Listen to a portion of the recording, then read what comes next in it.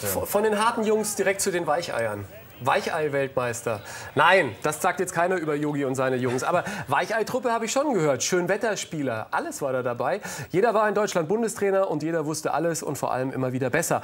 Und die Jungs nur im Kreuzfeuer. Mario Götze! Ausgerechnet Mario Götze. Prototyp der sogenannten Generation PlayStation.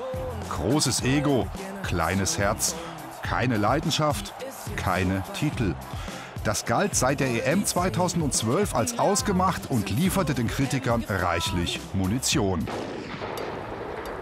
Mich ärgert es. Ich, Nee, bin, das da, ich bin da nicht zufrieden.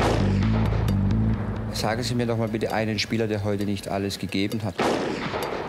Das EM-Aus gegen Italien, den deutschen Spielern wird ihr angebliches Versagen um die Ohren gehauen. Sie seien stumm wie die Fische bei der Hymne und auf dem Platz. Kommandos gehen immer von hinten nach vorne und von der Mitte nach außen. Weichgespülte Wohlstandsjünglinge ohne einen Funken Ehre im Leib? Teile dieser Kritik halte ich ganz einfach nicht für zielführend und ermüden mich.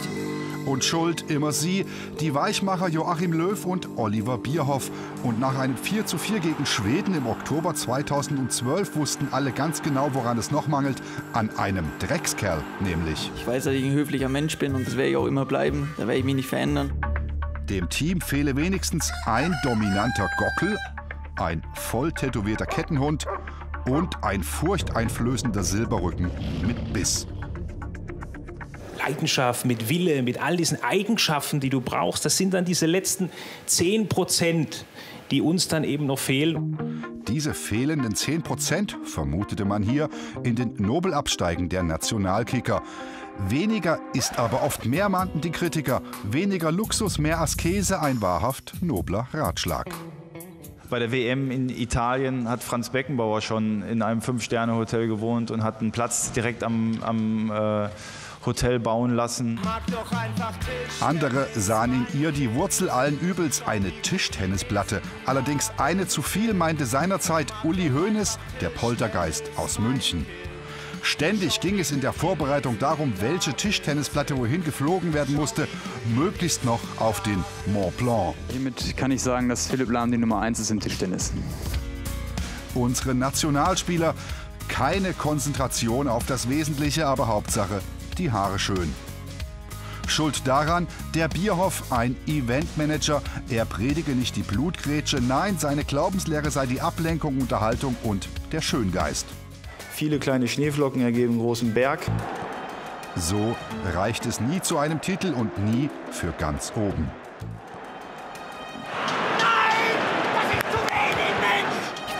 Denn der Löw sei zwar modisch auf der Höhe, aber taktisch zurückgeblieben. Natürlich geht der Plan ja nicht immer auf. Also das, das ist ja auch klar. Meine, natürlich machen die Spieler Fehler, die Trainer Fehler. Ja. Er könne nicht schnell denken, aber umso schneller fahren.